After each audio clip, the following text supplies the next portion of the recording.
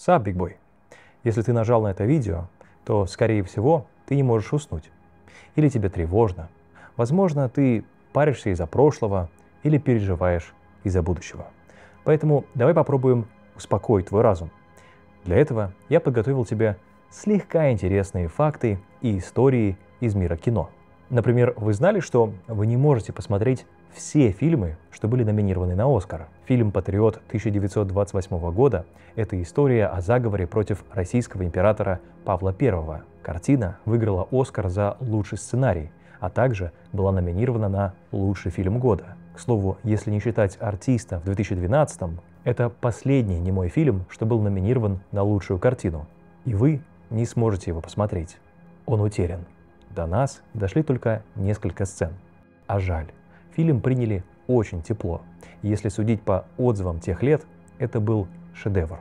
Но унывать не стоит. В жизни мы всегда что-то находим, а что-то теряем. Да и вообще, это не единственная утерянная вещь в истории кино.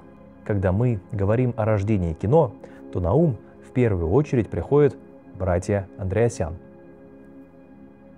О, простите, братья Люмьер. Они придумали штуку, на которую можно снять, как поезд приезжает на станцию. А потом показали это куче людей. С этого показа 13 февраля 1895 года начинается история кинематографа. Но за несколько лет до братьев Люмьер прототип кинокамеры построил Лепренс Луи. Это одна из самых загадочных личностей в истории кино. В 1886 году он построил камеру с 16 линзами, что очень быстро делает 16 снимков. Затем он создал камеру уже с одной линзой, способную записывать изображение на фотобумагу. И вот в 1888 году он тоже снимает кадры, но не с поездом, а с родственниками во дворе. Или там с мостом. И казалось бы, успех не за горами – ты опередил братьев Люмьер на целых 7 лет. Осталось лишь показать эти кадры куче людей, и тебя будут называть отцом кино. Именно это он и пытался сделать. В 1890-м он сел на поезд в Париж, чтобы показать всему миру свое изобретение. Но он так никогда и не вышел из этого поезда. Он просто исчез, не оставив и следа, из-за чего широкая публика так и не увидела его творение. Мы до сих пор не знаем, что именно с ним произошло. Все, что у нас есть, это теории о том, что могло произойти. Его жена обвиняла Томаса Эдисона. Видите ли, Лепренс ехал в Париж по пути в США. Там он планировал запатентовать свое изобретение. А в то время в Америке бушевала война патентов. И самым главным тираном этой войны был тот самый Эдисон. Его привычка давить конкурентов привела к тому, что целая киноиндустрия сбежала от него из Нью-Йорка в Лос-Анджелес. Учитывая то, что Эдисон сам занимался разработками в этой сфере и через некоторое время после исчезновения Лепренца сам предоставил миру свою камеру, версия о том, что он попросту избавился от конкурента, выглядит вполне реалистичной.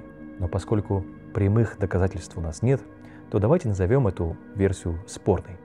Хотя ничего плохого в спорах нет. Так называлась игра, в которой ты можешь создать одноклеточное существо, пройти путь эволюции и создать собственную цивилизацию. Да и вообще, не зря же говорят, в споре рождается истина.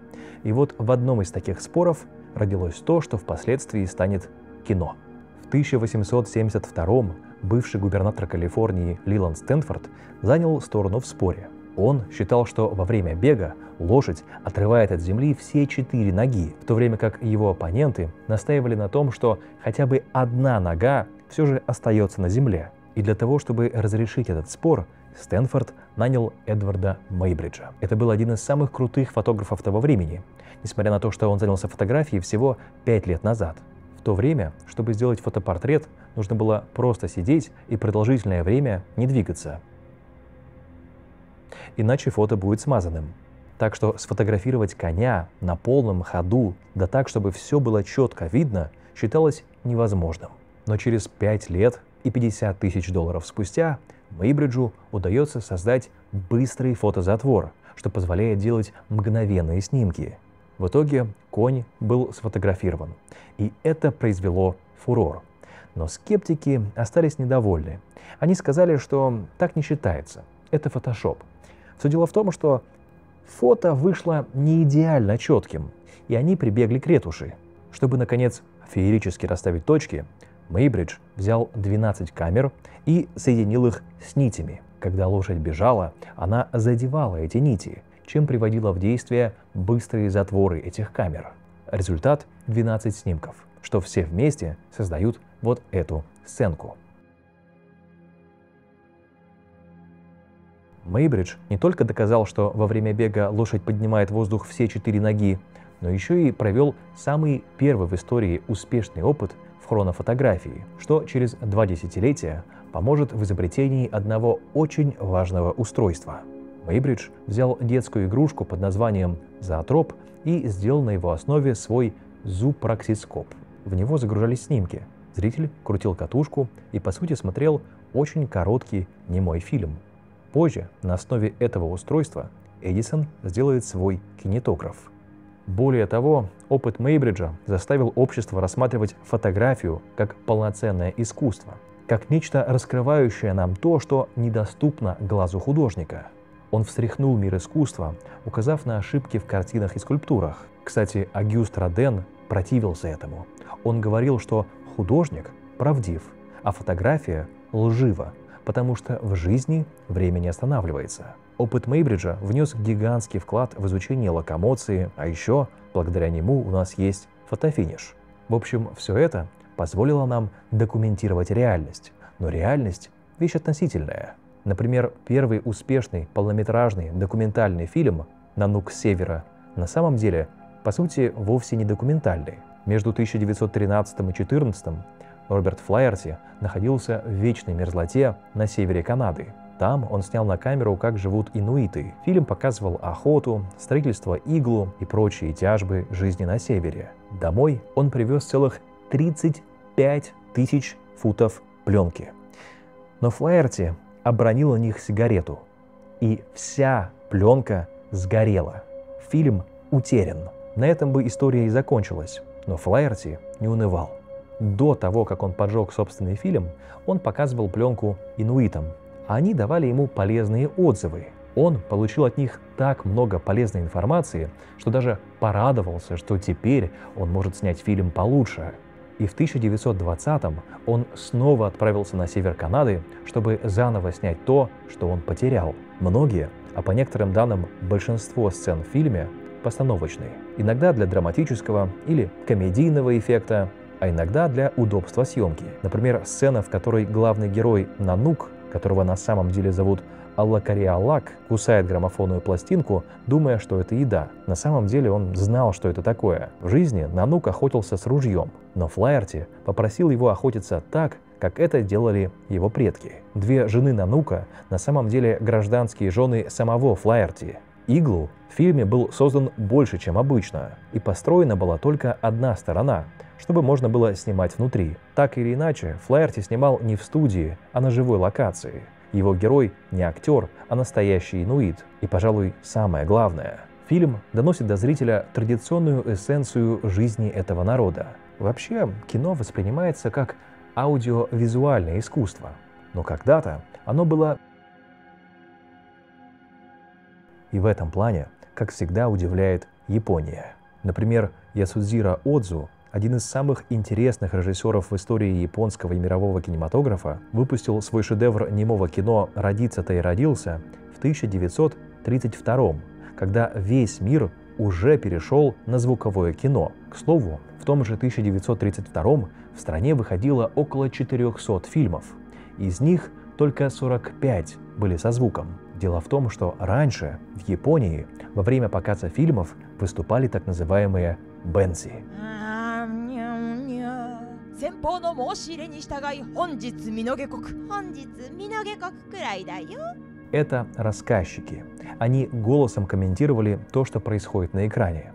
Они объясняли, а порой и дополняли сюжет. Поскольку первые фильмы попали в страну с Запада, Бенси объясняли японскому зрителю особенности совершенно другой и непонятной им культуры. Со временем они превратились в полноценных артистов и звезд – Ради их харизматичных выступлений Зрители приходили на один и тот же фильм по нескольку раз. По сути, они в реальном времени занимались дубляжом. И когда в кино пришел звук, Бенси осознали, что рано или поздно они останутся без работы. Их профессия станет попросту не нужна. И поэтому они всеми силами противились новой технологии. Например, когда кинокомпания Никацу выпустила несколько звуковых фильмов, Бенси вместе с профсоюзами оркестров вышли на забастовку, чем парализовали работу студии.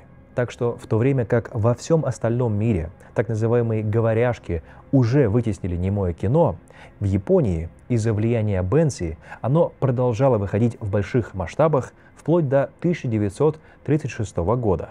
Только тогда в японском немом кино пошли финальные титры. Кстати, вы заметили, что в американских титрах между сценаристами ставят либо «end», либо «амперсант», который также означает «end». В относительно недавнем фильме «Элвис» можно заметить забавную картину. Бас Лурман там указан дважды. Один раз через «end», а второй раз через «амперсант». Да, это пишется по-разному, но читается-то ведь одинаково. Казалось бы, одно и то же. Но тут есть большая разница. В Голливуде действует система гильдий.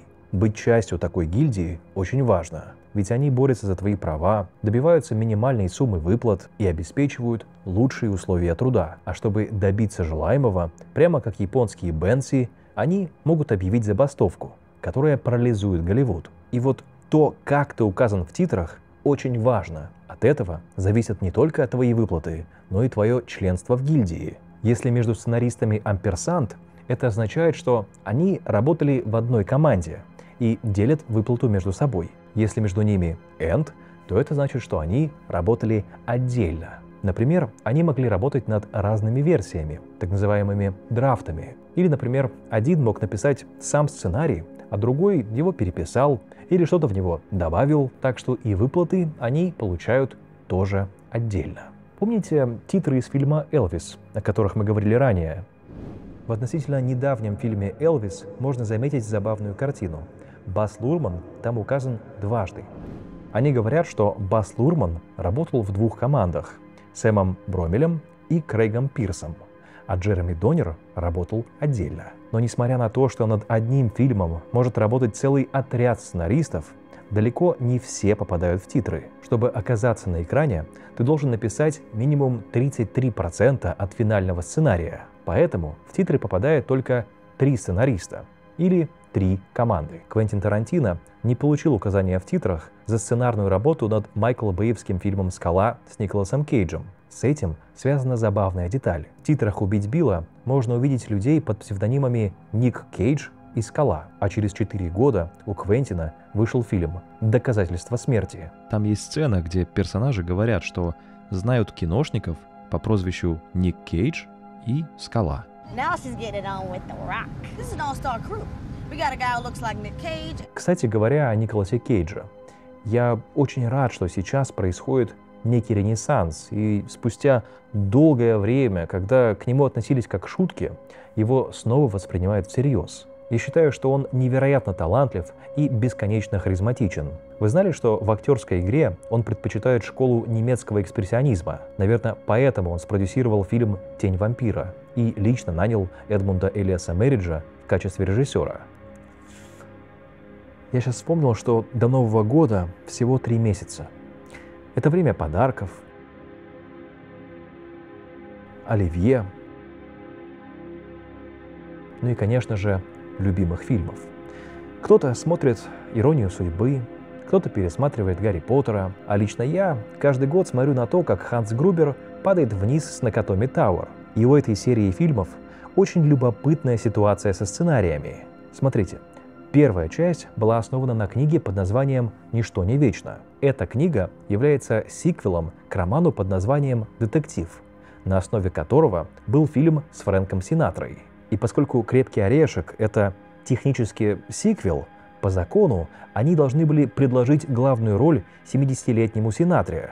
К сожалению, Синатра отказался. Вторая же часть основана на другой книге, с другими персонажами и вообще от другого автора. Для третьего фильма сначала написали сценарий под названием «Troubleshooter», но от него отказались, потому что он слишком похож на фильм со Стивеном Сигалом. Потом по этому сценарию сняли «Скорость 2», так что поиски сценария продолжились. И в итоге третья часть основана на сценарии, который изначально предназначался для фильма под названием «Саймон говорит» с Брэндоном Ли, но тот скончался на съемках «Ворона». Так что этот сценарий продали и переделали под четвертую часть «Смертельного оружия». Но и там не срослось. Так что сценарий снова продали и только потом переписали под «Крепкий орешек 3».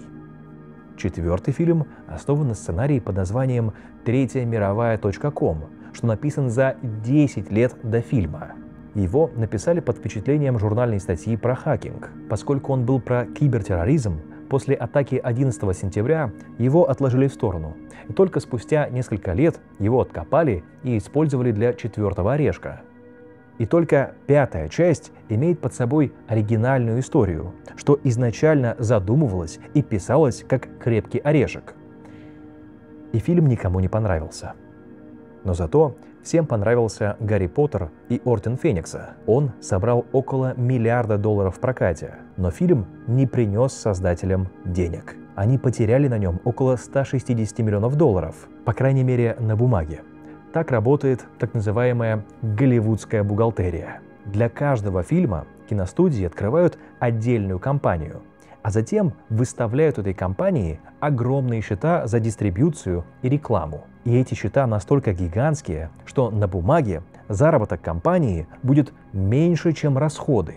То есть прибыли нет. Но зачем они это делают? Ну, например, чтобы снизить выплаты или вовсе не платить актерам за так называемые роялти. Например, актер, сыгравший Дарта Вейдера, не получил положенных ему выплат с прибыли за возвращение джедая. Потому что, опять же, на бумаге у фильма нет никакой прибыли. И это при том, что фильм собрал 10 своих бюджетов а с учетом повторного проката и того больше. Поэтому никогда не соглашайтесь на процент от прибыли. Вам просто скажут, что ее нет. Вообще, Дартом Вейдером особо не везет. Ныне покойный Джеймс Эрл Джонс, что подарил всем известный голос этому персонажу, no,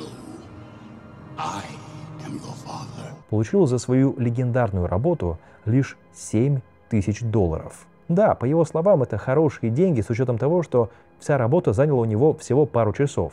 Но Тогда в успех «Звездных войн» особо никто не верил. И вполне возможно, что он смог бы договориться на какой-нибудь процент от кассовых сборов или, по крайней мере, от того, что заработает сам Лукас. Именно так и поступил Алек Гиннес, исполнитель роли Оби-Вана. Он договорился на 2 с копейками процента от того, что заработает Джордж Лукас.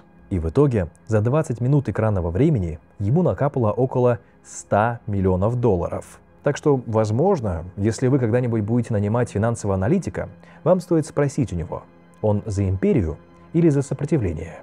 Помните, мы говорили про титры? Помните титры из фильма «Элвис», о которых мы говорили ранее? Так вот, с ними мы разобрались. Они идут в конце. А вот в начале мы часто можем увидеть возрастной рейтинг. В соответствии с этим рейтингом ты заранее знаешь, что покажут и, что самое главное, не покажут в фильме. Но до этого была другая форма цензуры – знаменитый Кодекс Хейса. Вот его ограничения.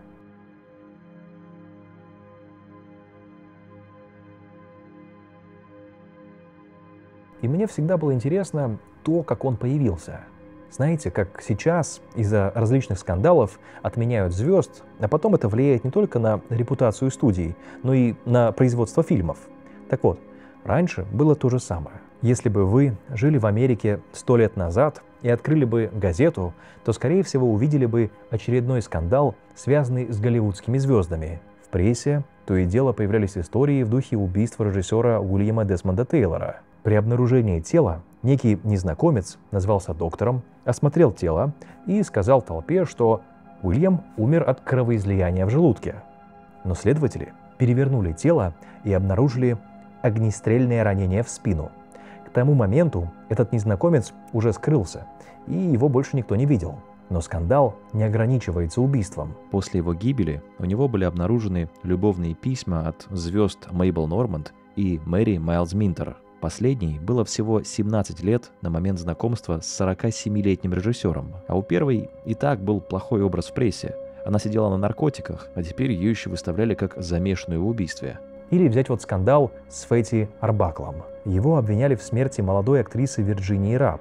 Обвинение заключалось в том, что он насильно с ней переспал на вечеринке, которая потом превратилась в оргию. Вскоре его оправдали, но было уже поздно. Он был вынужден покинуть большой экран. Кстати, забавно, что он попытался вернуться в Голливуд под псевдонимом Will Be Good, то есть «Буду хорошим», но у него ничего не вышло.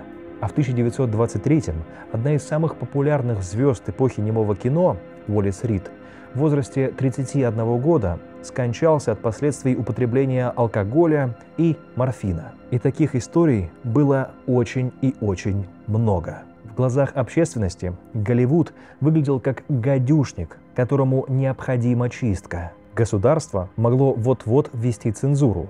Более того, разные штаты могли вводить разные правила, а потом еще их постоянно менять. Поэтому к концу 22-го киностудии решили не дожидаться правительства. Они взяли ситуацию в свои руки и пошли на некий пиар-ход. Параллельно с Голливудом нечто подобное происходило и в бейсболе. Это был крайне коррумпированный спорт. Букмекеры договаривались с игроками на нужный им результат. Репутация игры была и без того плохая, так еще и в 1919-м разгорелся крупный скандал – Команда White Sox за деньги проиграла Cincinnati Reds. Поговаривали, что в скандале замешаны гангстеры. Чтобы реабилитироваться, главная бейсбольная лига наняла не абы кого, а уважаемого федерального судью Кенниса Маунтина Лэндиса. Ему дали безграничную власть, и он принялся чистить спорт от влияния букмекеров, а также навсегда исключил из него замешанных в скандале лиц. И в конце концов у него получилось восстановить репутацию бейсбола. Киношники хотели сделать то же самое. Они наняли не просто консерватора-республиканца, так еще и старейшину церкви Уильяма Хейса, чтобы тот возглавил ассоциацию киностудий.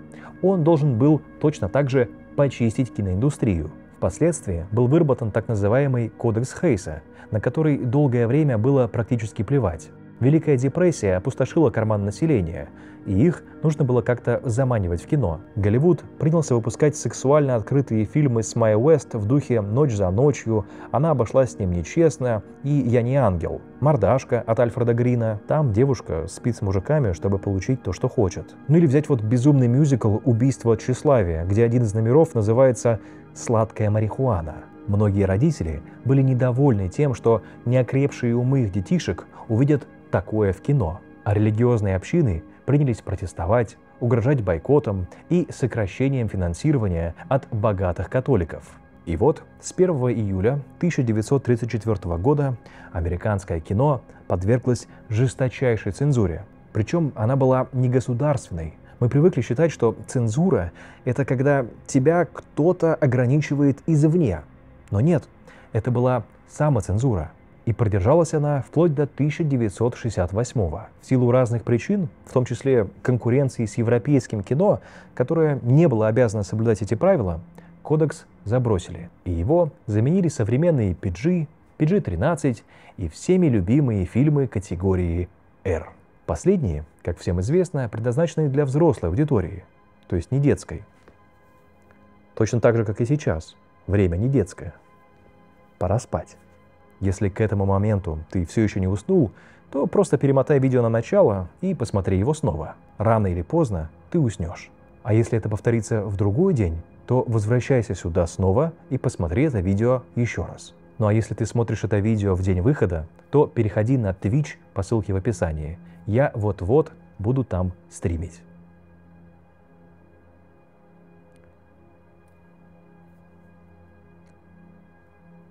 Переходи. Чего ждешь? Ну или мотай. Мотай назад.